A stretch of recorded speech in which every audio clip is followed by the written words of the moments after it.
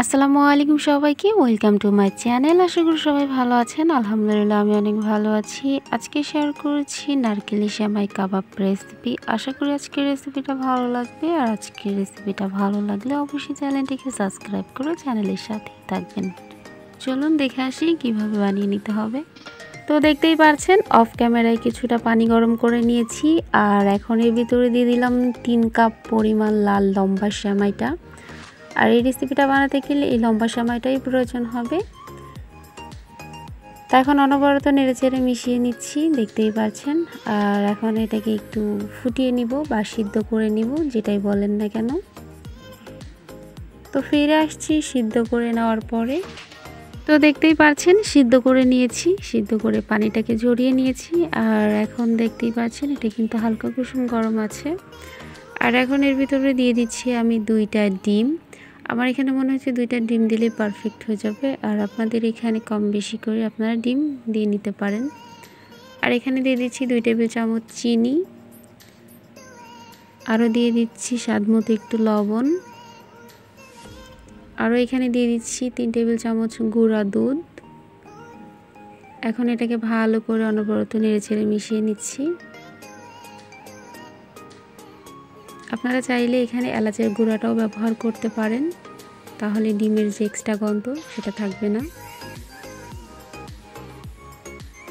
তো দেখতেই পাচ্ছেন অফ ক্যামেরা ভালো করে মিশিয়ে নিয়েছি। আর এটাকে সাইডে সরিয়ে রাখলাম, অন্য একটি কড়াইতে। কিছুটা পরিমাণ সাদা তেল দিয়ে দিলাম, আর এখন দিয়ে দিলাম এক টেবিল চামচ ঘি, ভালো করে মিশিয়ে নিলাম। চুলার আঁচ মিডিয়ামে রেখে এখন আমরা যে সময়টাকে বানিয়ে রেখেছিলাম ওটাকে এখন কাবাবের শেপ দিয়ে বা গোল আকৃতির একটা শেপ দিয়ে বানিয়ে নিব। দেখতেই পারছেন? আর অবশ্যই এই কাজটা কিন্তু নর্মাল আঁচে করতে হবে, বেশি তাড়াহুড়া করতে যাবেন না, তাহলে কিন্তু পুড়ে যেতে পারে। তো দেখতেই পারছেন, চুলার আঁচ মিডিয়ামে রেখে এক সাইড প্রায় হয়ে এসেছে। তো এটাকে উল্টিয়ে দিচ্ছি। এখন এটাকে দুই তিনবার এভাবে উল্টিয়ে পাল্টিয়ে ভেজে নিব।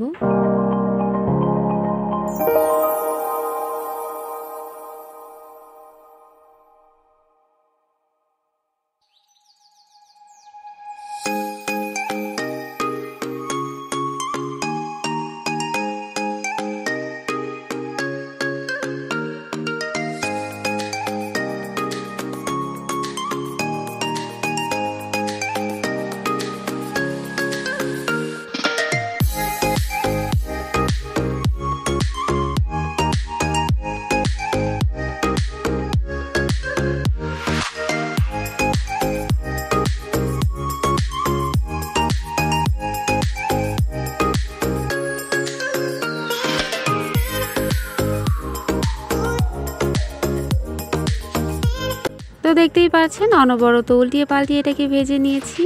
আর এখন এগুলোকে উঠিয়ে নিচ্ছি, কারণ এর থেকে আর বেশি ভাজবো না বা থেকে বেশি কালার করব না।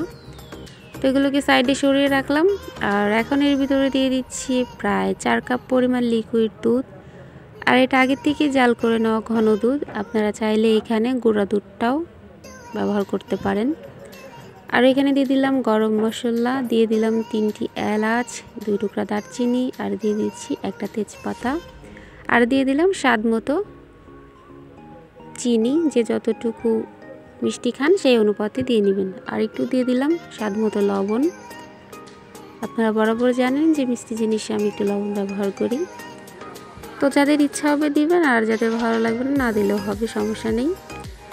তো দেখতেই পাচ্ছেন, দুটো কিন্তু বলক চলে এসেছে। আর যেহেতু এটা ঘন করা আগের থেকেই জাল করে নেওয়া দুধ, তো জন্য বেশি একটা জাল করার দরকার নেই। তো চুলার আঁচ মিডিয়ামে রেখে প্রায় পাঁচ থেকে দশ মিনিটের মতো জাল করে নিয়েছি। আর এখন এর ভিতরে দিয়ে দিলাম এক কাপ নারকেল, যেহেতু এটা নারকেলি কাবাব, তো এই জন্য নারকেলটা আমি বেশি ব্যবহার করেছি। আপনারা চাইলে একটু কম করেও দিতে পারেন বা না দিলেও হবে। তা এখন আরও পাঁচ থেকে দশ মিনিট একটু জাল করে নিব, দেখতেই পারছেন। যাতে মশলা বা গরম মশলার যে ফ্লেভারটা সেটা বের হয়ে আসে, একদম দুধের সাথে মিশে যায়, এর জন্য। তো কিছুটা সময় জাল করে নেওয়ার পরে মশলাটাকে উঠিয়ে নিচ্ছি, দেখতেই পাচ্ছেন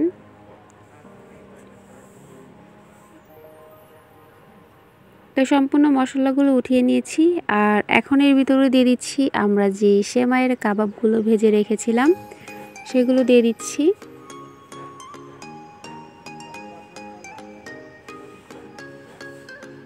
তো সবগুলো এখানে দিয়ে দিলাম আর দিয়ে একটু নাড়িয়ে চাড়িয়ে মিশিয়ে দিলাম। আর এখন এটা চুলার উপরে চুলা বন্ধ করে রেখে দেব, প্রায় দশ থেকে পনেরো মিনিটের মতো একটু রেস্টে রেখে দিব।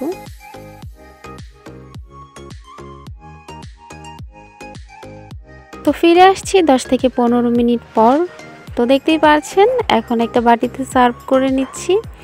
আর আজকের রেসিপিটা ভালো লাগলে অবশ্যই চ্যানেলটিকে সাবস্ক্রাইব করে চ্যানেলের সাথেই থাকবেন। আর আজকের রেসিপিটা একবার হলেও এই ঈদে ট্রাই করতে পারেন। আর চাইলে আপনাদের মূল্যবান মতামত কমেন্ট বক্সে জানাতে পারেন। তো এই পর্যন্ত সবাই ভালো থাকবেন, সুস্থ থাকবেন। অন্য একটি ভিডিওতে আবার দেখা হবে। আল্লাহ হাফেজ।